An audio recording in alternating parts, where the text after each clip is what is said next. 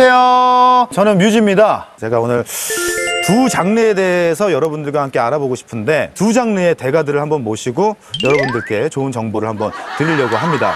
트로트의 살아있는 역사, 우리 서른도 씨 그리고 R&B 소울 하면 누구? 김주환. 서른도 김주환 씨 모시겠습니다. 어서 오십시오. 안녕하세요. 선배님 어서 오십시오. 앉으시죠. 아, 네. 아, 갓조환이라고도 뜨고요.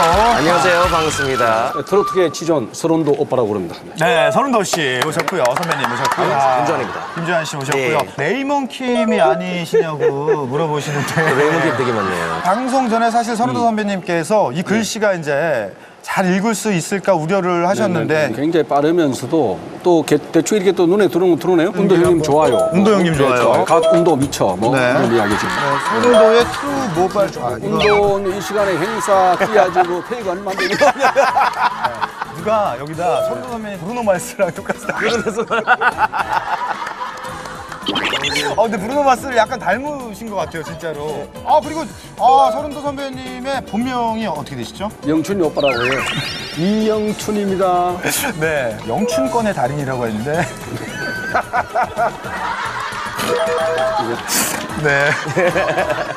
네. 김주환 씨는 본명이시죠?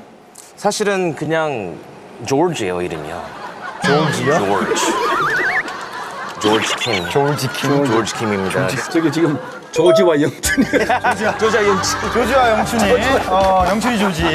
나왔고요. 정말 재밌네요.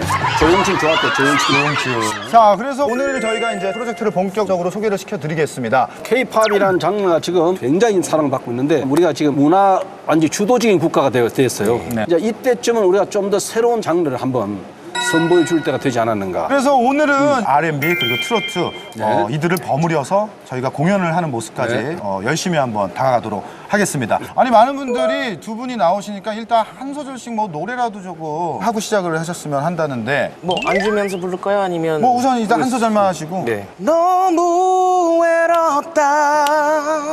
넌 나에게 묻는 진짜 행복한디.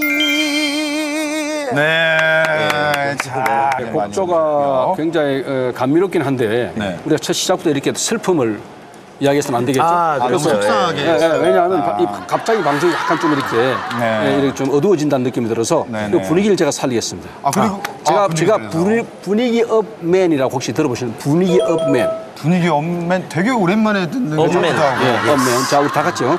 셋. 근심을 털어놓고 함께 자